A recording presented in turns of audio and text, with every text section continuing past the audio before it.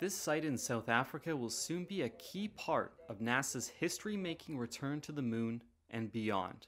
Located about 130 miles from Cape Town, Matjiesfontein will be home to a deep space ground station. The site will help track NASA's Artemis program, which aims to land the first woman and person of color on the moon by 2025. It will include a three story tall dish, and as part of a network of other ground stations in the US and Australia, it will help improve coverage and redundancy for critical mission support. Phil Mjwara is the head of South Africa's Department of Science and Innovation. NASA would not come to South Africa uh, if they didn't feel that we have capacities to do the work that they want us to do in partnership with them. NASA official Badri Younes was on hand to break ground at the site.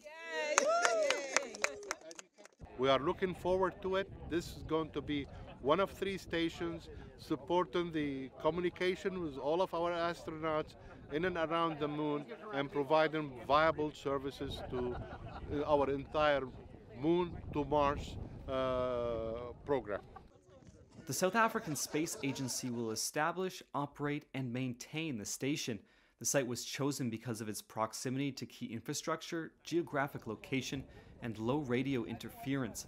South Africa has made an initial investment of nearly $4 million, and the site is set to come online in 2025, the same year NASA is planning to return astronauts to the moon.